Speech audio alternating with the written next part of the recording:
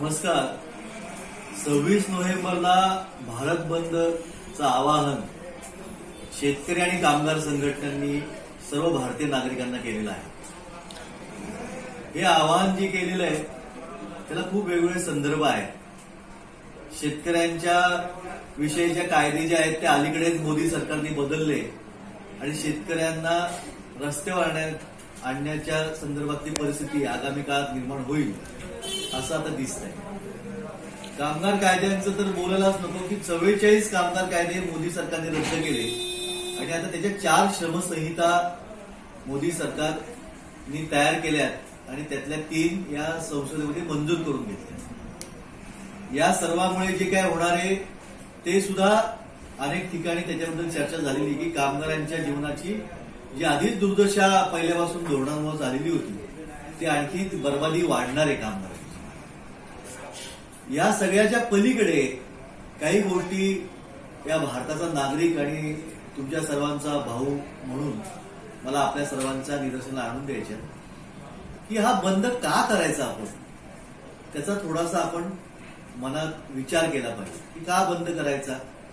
सर्वसाधारण बंद आणि यावेळेचा सव्वीस नोव्हेंबरचा बंद याच्यामध्ये अतिशय मूलभूत फरक आहे.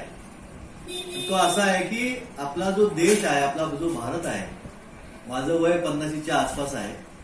मला जेव्हापासून कळायला लागलं तेव्हापासून हा देश आणि या देशातले नागरिक म्हणून आपलं जे सर्वांचं सहजीवन आहे त्याच्याबद्दल माझी जी समजूत झाली होती त्या समजुतीला गेल्या सहा वर्षात प्रचंड मोठा धक्का बसलेला आहे.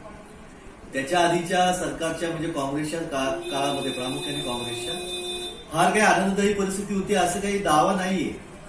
परंतु या भाजप सरकारने मोदी सरकारने जेव्हापासून सत्तेवर ते आलेले आहे ते सत्तेवर येतानाच आधी गुजरातमध्ये मोदी होते त्यावेळेस त्यांनी काय केलं याची सर्वांना आठवण आहे.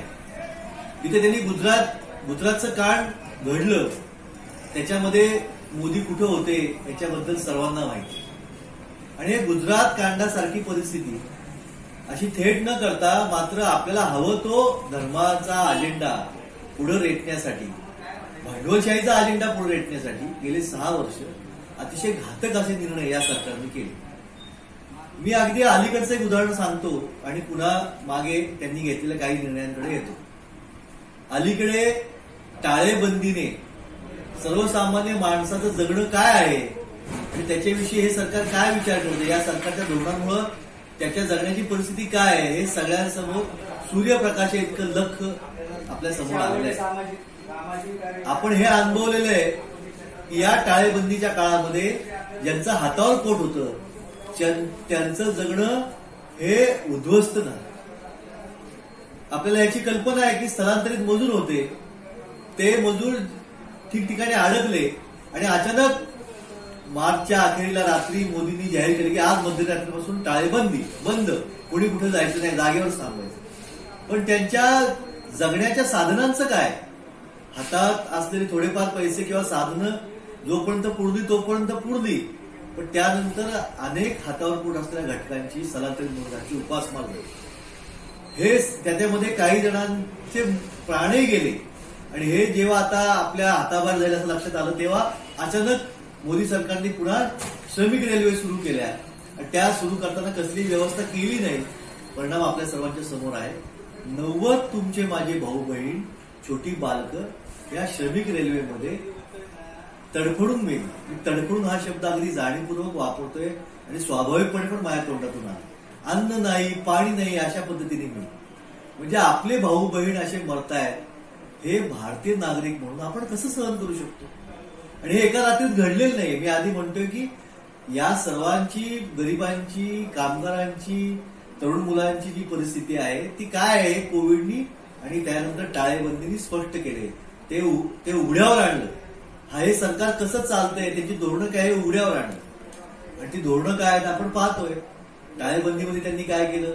ज्या सैन्याच्या बद्दल अभिमानाने सतत उच्च नावाने देशभक्तीबद्दल ते बोलत राहतात त्या सैन्याला पुरेसा निधी सुद्धा ते उपलब्ध करून देत नाही.